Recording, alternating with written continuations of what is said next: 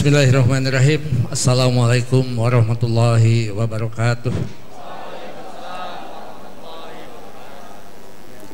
Pembina, pengawas, dan pengurus yayasan Yasmi yang sama-sama kita hormati Bupati Kabupaten Cirebon yang dalam hal ini diwakili oleh Bapak Asda yang saya hormati Ketua Senat beserta seluruh jajaran Senat, STIE dan Akpar yang saya hormati Ketua STIE, Direktur Akpar, Wakil Ketua, Wakil Direktur Ketua Prodi dan seluruh dosen STIE dan Akpar yang saya hormati Para undangan baik sipil maupun militer yang tidak saya sebutkan satu persatu yang saya hormati Bapak Ibu, keluarga besar, wisudawan, wisudawati yang berbahagia dan saudara-saudara wisudawan wisudawati yang saya banggakan. Alhamdulillahirrabbilalamin wabihi nasta'inu ila umuri dunya wadin wassalatu wassalamu ala sayyidina mursalin wa ala alihi wa sahbihi ajma'in. Asyhadu an la ilaha illallah wahdahu la syarikalah wa asyhadu anna muhammadan abduhu wa rasuluh. A'udzu billahi minasyaitonir rajim. Yarfa'illahu alladina amanu minkum waladina utul ilma darajah Puji syukur kita panjatkan kehadirat Allah Subhanahu wa taala. Alhamdulillah pada hari ini kita tidak hanya menghadiri sidang terbuka dalam rangka wisuda STIE dan Akbar, tetapi kita merasakan anugerah yang terindah dalam salah satu rangkaian kehidupan kita pada hari ini. Mahasiswa kita, keluarga besar kita di wisuda dan mudah-mudahan kegiatan wisuda senantiasa lancar dan mendapat bimbingan dan ridho Allah Subhanahu wa taala. Amin. Salawat dan salam mudah-mudahan senantiasa tercurah pada junjungan kita Nabi besar Muhammad sallallahu alaihi wasallam pada keluarga, sahabat dan mudah-mudahan sampai kepada kita yang senantiasa istiqomah mengikuti ajarannya sampai akhir zaman nanti. Amin. Amin ya rabbal alamin. Bapak Ibu hadirin yang saya hormati, yang insya Allah dimuliakan dan dirahmati Allah Subhanahu Wa Taala. Yang pertama tentu saya secara pribadi bangga dengan kampus ini. SIE dan Akpar merupakan salah satu kebanggaan LL Dikti. Karena apa? Karena yang pertama akreditasi yang merupakan perwujudan tata kelola kampus sudah tergolong sangat baik.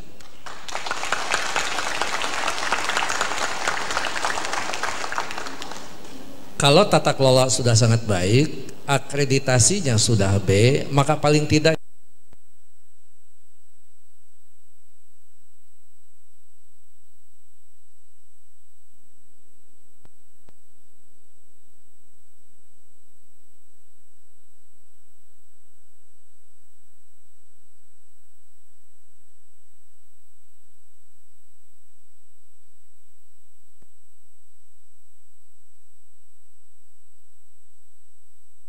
oleh masyarakat. Amin. Kemudian hal yang kedua, pada saat saya sekarang menjabat kepala LL Dikti yang tadinya koordinator Kopertis, itu memberikan sebuah hikmah yang sangat luas bagi PTS. Setelah Kopertis berubah nama menjadi Lembaga Layanan Pendidikan Tinggi, maka tidak ada lagi dikotomi PTN dan PTS. Tidak ada istilah PTN lebih bagus daripada PTS atau tidak ada lagi istilah bahwa PTS lebih jalik daripada PTN. Maka satu ungkapan pada saat orang lain bertanya, apakah Anda lulusan perguruan tinggi mana? Hanya satu kalimat yang harus menjadi sebuah keyakinan. Kami lulusan perguruan tinggi yang berkualitas. Kalimat itu tentu sangat indah untuk disampaikan, tetapi berat untuk diucapkan. Kenapa? Kualitas dan tidaknya berkualitas sebuah perguruan tinggi, masyarakat akan melihat dari daya serap lulusan. Ini pun diperkuat dengan kebijakan Menteri Pendidikan dan Kebudayaan yang baru.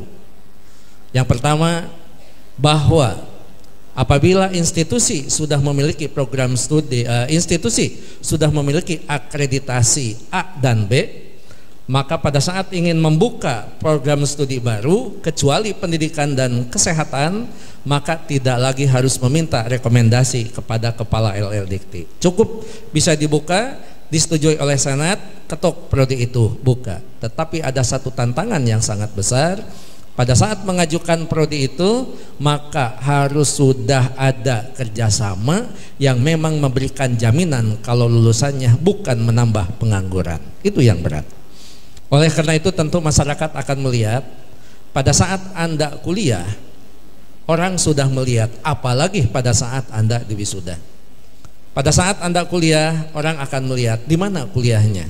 Yang kedua, setelah Anda di wisuda dan Anda menjadi seorang sarjana, ataupun Anda menjadi ahli madya, jangankan Anda belum bekerja, yang sudah bekerja pun akan dipantau oleh orang-orang yang ada di sekitarnya.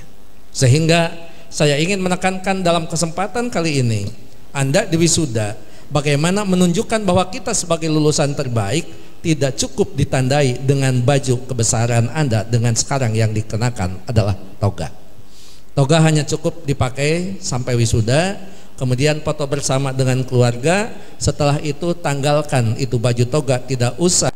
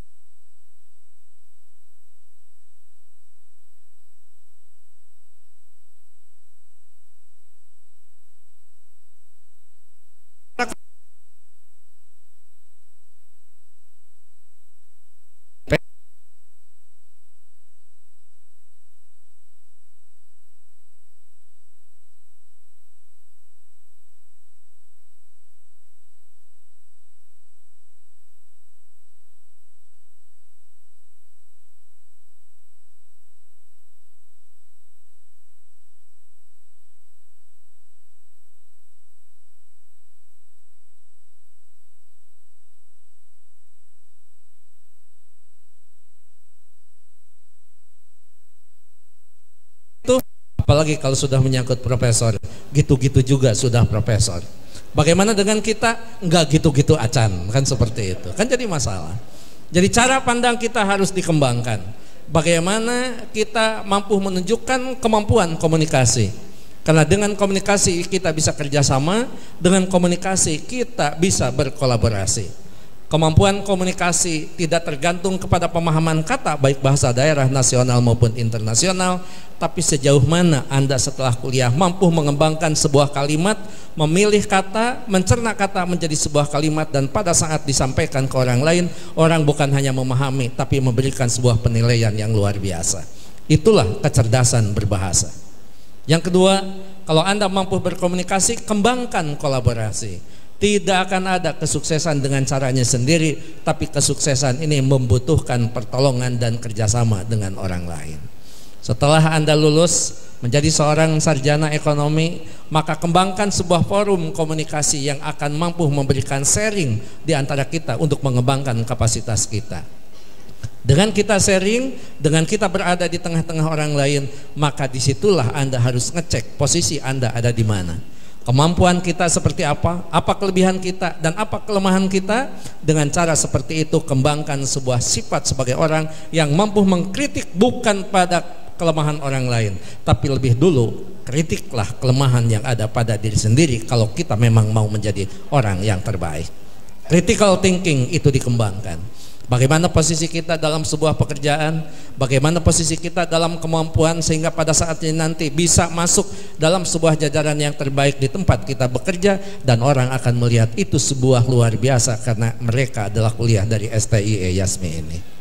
Kemudian yang terakhir, kalau kita komunikasi sudah dibangun, kolaborasi sudah dibangun, critical thinking sudah dipertajam, maka yang terakhir tidak cukup hanya sampai di situ, creativity harus dikembangkan. Seorang tukang beca yang ada di Pamanukan setelah maraknya ojek, maka dia tidak bisa mendapatkan penumpang. Pada saat tidak mendapatkan penumpang, jangankan dia membawa uang 50 ribu atau 100 ribu, untuk makan pun belum tentu karena orang lebih memilih ojek dibandingkan dengan naik beca. Tukang beca ini tidak pernah kuliah, dia tidak lulus SMP, dia pun tidak lulus SD, tapi punya cara berpikir yang sangat bagus. Critical thinking dia kembangkan sehingga dia pada akhirnya mengubah profesinya dari tukang beca bukan menjadi tukang ojek, tetapi dia memilih cara dengan yang berbeda dari orang lain. Apa yang dia lakukan? Dia lakukan analisis lingkungan. Di Pamanukan kebanyakan adalah sawah, dia dari tukang beca bukan untuk jadi tukang ojek tapi dia memilih menjadi pengumpul keong sawah alias tutut dia kumpulkan tutut kemudian dia jual ternyata penghasilannya jauh lebih baik dibandingkan pada saat dia menarik beca pada saat dia berhasil mengumpulkan tutut dengan penghasilan yang melebihi pendapatan dari menarik beca, maka banyak orang-orang yang meniru dia. Di situlah ternyata dia punya kemampuan leadership yang sangat kuat sehingga dia memutuskan pada saat orang lain banyak yang meniru kegiatannya dia tidak lagi mengumpulkan tutut tetapi menjadi penghimpun pengumpul tutut. Leadership dia kembangkan kreativitas dia kembangkan atas dasar critical thinking yang dia miliki. Setelah jadi penghimpun pengumpul tutut Tutut yang terkumpul bukan hanya puluhan kilo dan ratusan kilo sampai dia berpikir dengan kreativitasnya mengembangkan usaha yang lain. Dia melihat masyarakat yang sekarang terutama anak-anak muda senang dengan makanan-makanan yang pedas. Baso level 1 sampai 8. Level 1 basonya masih kerasa. Level 8 basonya udah nggak kerasa. Yang kerasa cabai melulu, ya kan? Nah, tukang beca ini yang sudah jadi penghimpun pengumpul tutut, dia mendirikan rumah makan tutut pedas. Pada saat dia mendirikan rumah makan tutut pedas, ternyata disambut keadaannya oleh masyarakat, maka yang dulunya dia narik beca dengan terengah-engah, dengan napas tertarik yang sangat dalam, hari ini dia sudah mampu menduduki mobil pribadinya dengan supir pribadinya relativitas yang dikembangkan dengan critical thinking, kolaborasi dengan yang lain atas dasar cara pandang. Itulah sebuah tantangan yang terbaik bagi kita sebagai orang sarjana dan ahli madya. Kita tidak harus mengatakan masa saya kalah oleh penarik beca, masa kita kalah oleh orang yang tidak pernah mengenyam pendidikan tinggi. Kita tidak bicara tentang mengalahkan orang lain yang menyisakan sakit hati. Kita tidak menyisakan orang untuk terjebak dalam sebuah keputusasaan, tetapi Anda harus menjadi pemenang dalam sebuah persaingan yang sangat global. Anda harus menjadi pemenang Anda harus menjadi pemenang tapi tidak dengan cara mengalahkan orang lain. Anda harus menjadi pemenang tapi tidak dengan cara menjatuhkan orang lain. Anda harus menjadi pemenang tapi tidak dengan cara membuli orang lain. Bagaimana menjadi pemenang yang tidak menyisakan rasa sakit hati dan kekecewaan? Sempurnakan kelebihan yang Anda miliki, insya Allah Anda akan menjadi pemenang tetapi tidak pernah mengecewakan orang lain. Di situlah letak perbedaan kita sebagai seorang sarjana dan bukan sarjana. Di situlah letak kita sebagai lulusan yang terbaik dan bukan lulusan yang tidak terbaik. Kalau itu Anda mumpuni, kalau itu Anda rengkuh dalam sebuah kehidupan yang tergambar dengan sikap, ucapan, dan perbuatan, maka insya Allah apa yang pernah disampaikan oleh Rasulullah, jadilah orang yang sangat dicintai Allah Azza wa Jalla. Bukan karena gelarnya, bukan karena jabatannya, bukan karena kekayaannya, tetapi khairunas anfa'uhum linas. Jadilah orang yang bermanfaat bagi umat dan tolong ingat jangan sekali-kali memanfaatkan umat hanya untuk kepentingan diri sendiri. Saya pikir kalau itu Anda bangun, maka orang jangankan sekarang yang sedang kuliah, yang mau kuliah pun akan bertanya dan melihat bagaimana Anda menunjukkan perilaku yang terbaik. Anda harus menjadi duta promosi yang terbaik bagi STIE dan Akbar ini, tapi tidak harus meminta brosur sebagaimana sales motor dan sales mobil. Anda cukup tunjukkan perilaku yang terbaik, orang lain bertanya, Anda lulusan mana? Oke, jadi saya bicara di depan pengajian atau di depan mana ini? Anda lulusan mana? Nyatong amek biasa we atuh. STIE. Jadi kalau Anda cinta pada alma mater, kalau Anda bangga dengan kampus yang pernah membesarkan Anda, tidak perlu minta brosur ke ketua STIE, tidak perlu membentangkan spanduk sedang menerima mahasiswa baru. Tunjukkan perilaku yang terbaik, maka Anda lebih mempromosikan dibandingkan upaya yang lain. Yang terakhir ingin saya mengingatkan paling penting di antara yang saya sampaikan kita tidak akan pernah sukses tanpa campur tangan orang lain. Satu guru, yang kedua dosen, yang utama adalah keluarga dan kedua orang tua kita. Saya di sini agak tertarik untuk menyampaikan sebuah nasihat terutama kepada Bapak Ibu yang sekarang di wisuda dan memang sudah bekerja sebagai karyawan. Seorang istri begitu wisuda selesai, hampiri suami Anda, cium tangan mereka, Kenapa tidak mungkin Anda hari ini di wisuda bahkan kuliah manakala ridho suami tidak menyertai Anda untuk kuliah di STI. Apabila Anda seorang suami, temui istri Anda, minta maaf, ucapkan terima kasih karena tidak mungkin ada kesuksesan suami tanpa doa dari istrinya.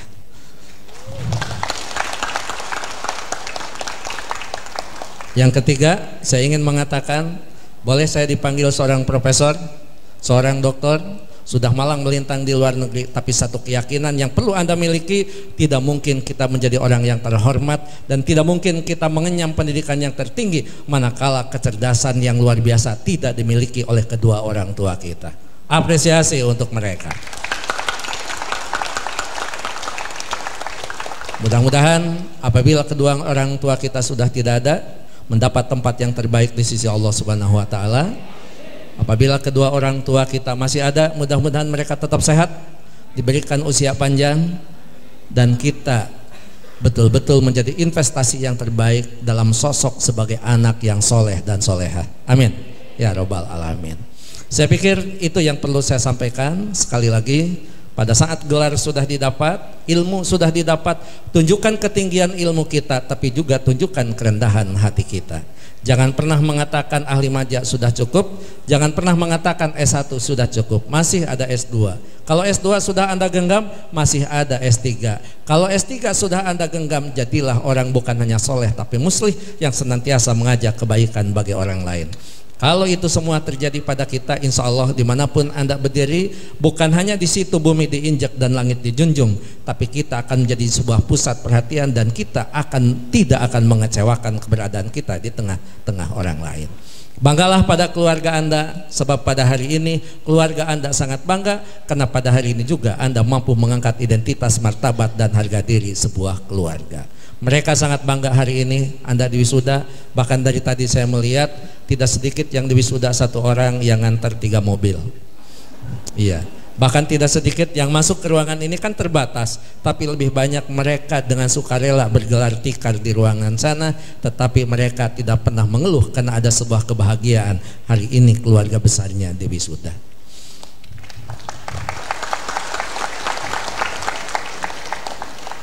Terima kasih kepada paduan suara. Saya tadi mengatakan kepada pembina karena mungkin ini kampus ini dekat dengan Krusmi ya. Jadi batiknya bagus. Betul. Kalau saya bicara batik bukan berarti saya minta batik, hati-hati ya. Seragamnya bagus, walaupun tadi saya mengatakan kalau kerudungnya agak merah dikit gitu tidak lebih tua dari situ itu justru akan lebih bagus lagi.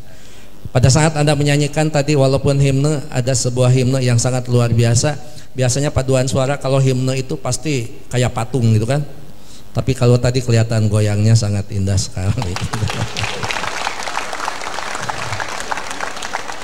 dengan satu catatan terima kasih kepada pengiring juga. Tetapi satu saat nanti suara volume organ itu tidak melebihi suara paduan suaranya. Ya.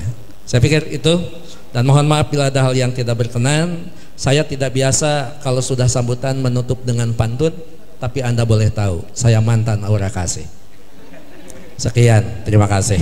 Assalamualaikum warahmatullahi wabarakatuh. Waalaikumsalam warahmatullahi wabarakatuh dan mohon tetap bertahan Bapak Profesor Dr. Uman Seherman, MPD, untuk tetap berada bersama kami karena tentunya akan menerima cenderamata yang akan langsung disampaikan oleh Ketua Yayasan Marta Indonesia dan berkenan kiranya Ibu Dina Yumairita SE untuk dapat menyampaikan cendera mata. Disilahkan.